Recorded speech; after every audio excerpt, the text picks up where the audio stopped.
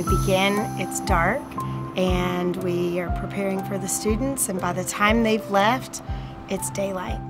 It's a symbol of all of us in the darkness, and once we know Jesus, we've come into the light.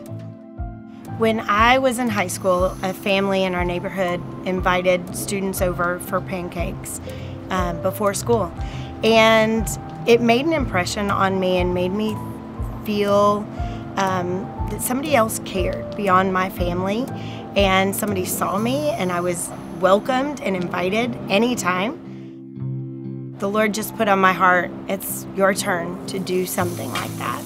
We talked about it and I wanted to pursue how do we go about serving the population at Arlington High.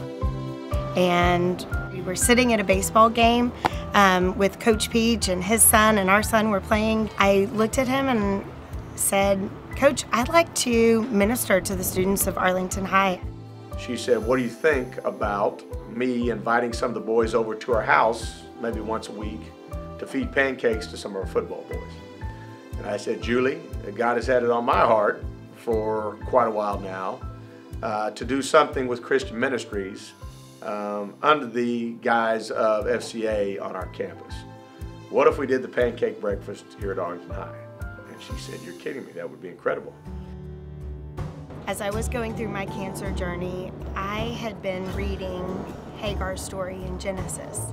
I loved her name of El-Roi, saying, You are the God that sees me. And El-Roi Family Pancake Breakfast was born. Every other Wednesday is prep day for El-Roi. I am usually making 8 to 10 gallons of batter.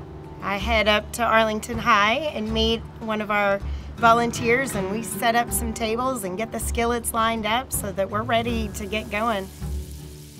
Craig shows up a little bit before I do it, about 6 o'clock in the morning. I start doing the sausage first, or bacon. I've done sausage and bacon. We're making pancakes upstairs. When they walk up the stairs, they're greeted with pancakes ready to go. Water and Sunny Delight ready. Fresh fruit is ready, greeting them with a smile. And lots of syrup. Lots of syrup.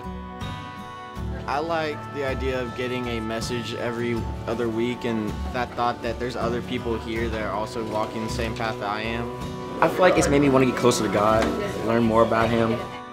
I love the community part of it and how watching kids from all over Arlington High School, uh, different athletes from every sport come in, be in community with each other, learn about Jesus from a very real perspective.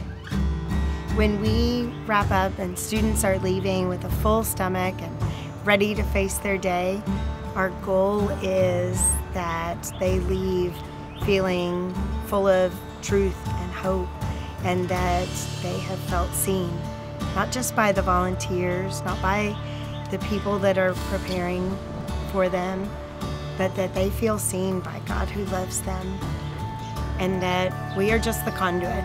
We're just the ones that said yes.